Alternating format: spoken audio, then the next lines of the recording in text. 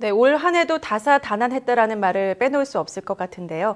한 해를 마무리하고 새해 맞이 한창인 분들도 많은 것 같죠? 예, 그렇습니다. 벌써부터 이 해맞이 명소죠. 동해안에서 새해를 설계하려는 분들이 몰리고 있습니다. 송수혁 기자의 보도입니다. 이른 새벽 해돋이 명소인 정동진 해변을 관광객 수백 명이 가득 메웠습니다.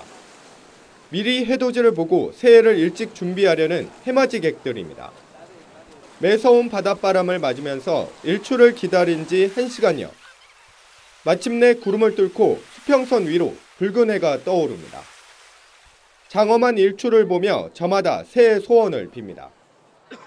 저희가 올해 고3이어가지고 이제 수능도 다 보고 이제 마무리하는 겸 왔는데요. 이제 내년에 이- 다들 좋은 대학도 갈 수 있도록 잘 지내도록 네, 그런 소원을 빌었어요. 달리는 열차 창문 밖으로 붉게 물든 겨울바다가 펼쳐집니다.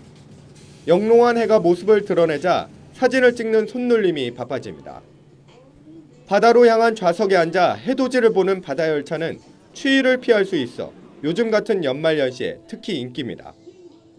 해보면서 내년 또 신년을 생각하면서 그 모두가 건강하고 내년에는 행복했으면 좋겠습니다.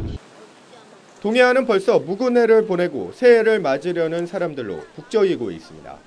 YTN 송세혁입니다.